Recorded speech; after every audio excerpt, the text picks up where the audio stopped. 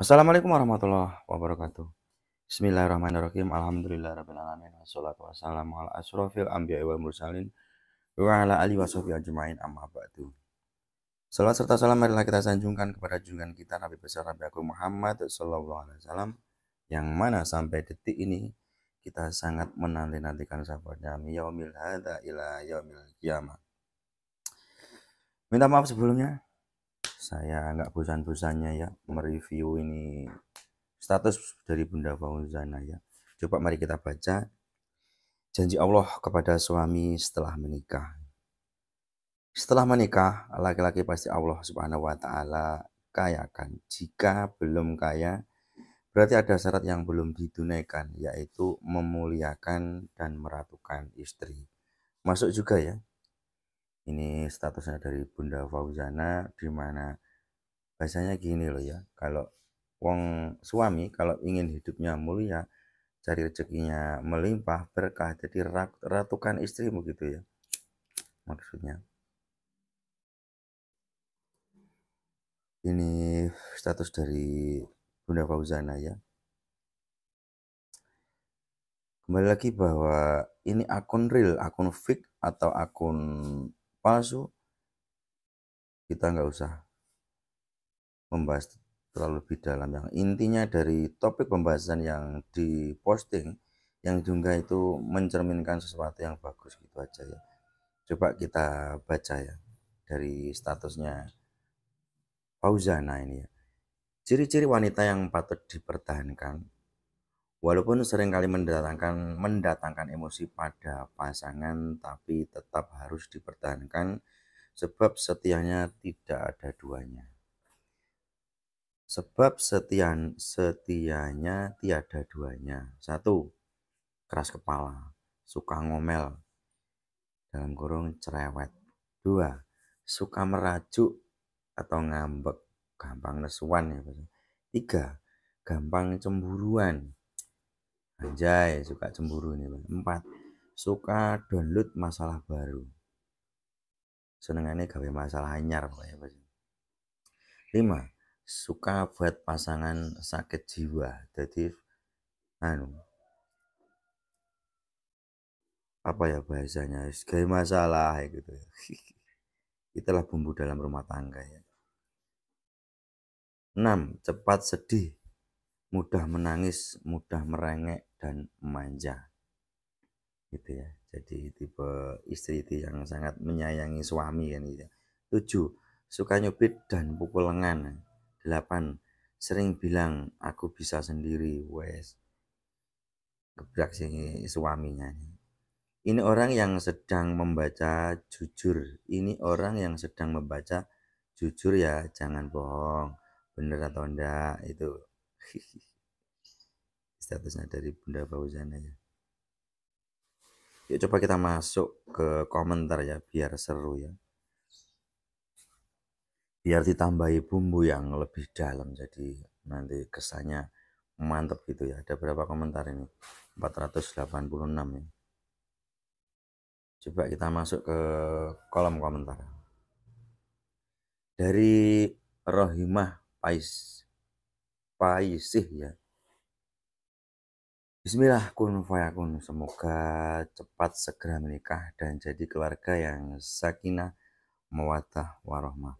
Bahagia selalu. Amin. Amin ya robbal alamin. Ya Allah, semoga jadi kenyataan bisa bersatu sampai di pelaminan. Amin. Amin ya robbal alamin. Bunda Fauzana dan Mas Iyun Papa Gedang ada emot ikan benar amin. Jadi kalau melihat apa ya Mas Iyun dengan Bunda Fauzana lagi bermasalah itu mereka jujur mereka itu sedih susah gelisah gitu ya. Pokok pokok intinya apa ya mereka itu seneng kalau mereka bisa bersatu kembali bisa menikah sampai ke pelaminan menjadi keluarga bilangnya katanya sakinah mawaddah warahmah. Jadi mereka itu sangat-sangat mendukung banget ya. Jadi kita sebagai netizen, sebagai penonton ya, sebagai publik kalau bisa dinetralisir, kalau bisa didinginkan ya, jangan saling menghujat, jangan saling merendahkan. yang mengakibatkan nanti hubungan mereka jadi retak karena kadang loh ya kuat loh di chat kadang ada yang mental yang ngedon dan kalau udah ngedon apalah daya kan? Ya walaupun apa ya terhalang restu orang tua atau apa itu tapi ya artinya orang tua kan kadang bisa luluh kan kalau melihat anak yang saling mencintai gitu ya. Oke lanjut ke komentar berikutnya ya dari Abdul Rasid ini. Ya ya Allah jadikan mereka berdua indra khairul fa'iyun dengan wah mantap ya namanya lengkap Mas Ian ya Allah jadikan mereka berdua. Namanya lengkap Mas Ian ya ini. Saya juga baru tahu ini Indra Khairul Fa'iyun. Nah itu nama lengkapnya. Atau yang lebih dikenal dengan Mas Iun dengan Irsal Fauzana. Jadi pasangan yang membawa berkah dan dijadikan imam dan makmum yang membawa kesejukan dunia dan akhirat bersama kedua keluarga jiwa keluarga Jawa dan Minang di surganya Allah kelak tapi menyala bunda dan papa anjay wah bagus loh ya. Mereka semua itu selalu mensupport intinya gitu ya. Ada lagi dari Omega ini menjawab komentarnya ya. Enma nama Ma Mayun belakangnya Faiyun artinya udah sejodoh Fai Fauzana dan Yun pasti banget. Amin gitu ya. Ada lagi komentarnya dari Kacung Speed ini ini lek seneng si delok nggak ser serang-serang. Wong liya ngerti apa? Maksudnya gini begini loh kalau senang melihat nggak usah saring serang nggak usah saring serang orang lain ngerti apa gitu loh ya bahasanya ada lagi omega ini menjawab lagi di sini ya ya Allah kabulkanlah doaku ini Semoga mereka bisa bersatu kembali dan selamanya. Barakallah. Wah. Kayak menggoncang dunia ini ya. Jadi hubungan cinta mereka berdua itu wah dan dahsyat loh ya efeknya. Jadi seolah-olah Nusantara ini terbawa dengan hubungan cinta mereka. Mantap ya. Kita kita itu kayak apa ya? Bahasanya apa ya? Candu gitu ya. Jadi kita semua ini terbawa dengan hubungan cinta mereka ya karena weh weh sembuh bingung ngomong lewat kita lanjut lagi ya iya nah itu benar semua ini ada dari diri bunda. Yang penting rabi sehat selalu mantap. Ada Arul. Arul subhanallah semoga yang diinginkan cepat terlaksana terlaksanakan kembali. Kristal awal sing penting rabi bolo doa terbaik buat Yunfa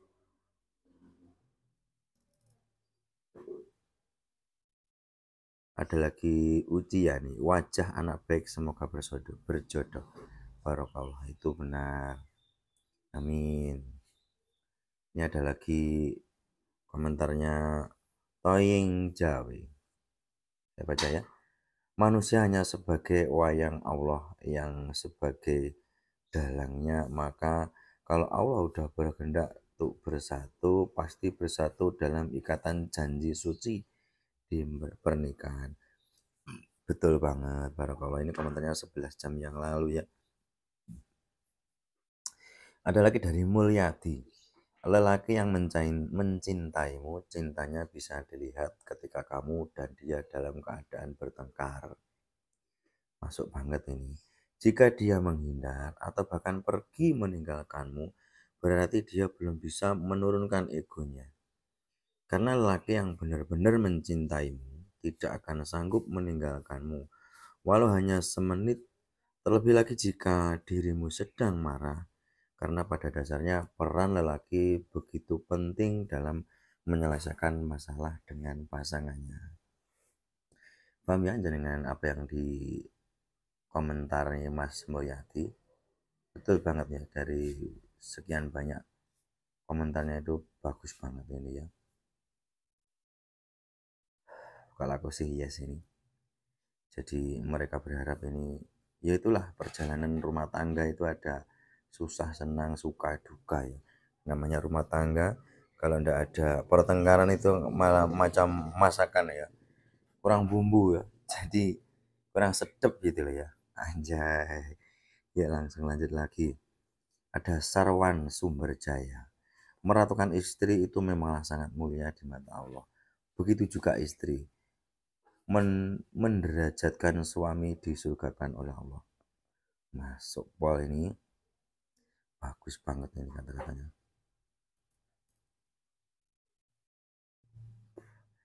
Ada Andi Irawan kita tunggu bunda di Surabaya Polo masuk. Ada lagi dari Galuh Banjar. Mudahan Dalang mengerti permainan tokoh wayangnya ada lagi dari Arga doang Masya Allah. Perjuangan tidak akan pernah mengkhianati hasil. Mantap betul. Ada lagi dari Juki Bismillah. Betul itu. Betul banget ya. jadi ini panjang kali lebar ya jadi pernyataan dari statusnya Bunda Fauzana ini. Sangat mengena banget ya jadi katakannya begini ya janji Allah kepada suami setelah menikah setelah menikah, laki-laki pasti Allah subhanahu wa ta'ala kayakan. Jika belum kaya berarti ada syarat yang belum ditunaikan yaitu memuliakan memuliakan apa? Memuliakan dan meratukan istri ya. Dia statusnya. Ya, demikian yang bisa sampaikan untuk apa ya untuk tayangan channel YouTube saya kali ini. Semoga bisa bermanfaat. Saya akhiri cukup sekian dulu ya. Bila ada salah kata dan ucapan dan yang kurang berkenan di hati jenengan, jenengan semua, saya minta maaf yang besar-besarnya. Saya akhiri cukup sekian dulu. Wabillahi taufiq walhidayah. ya. Assalamualaikum warahmatullahi wabarakatuh.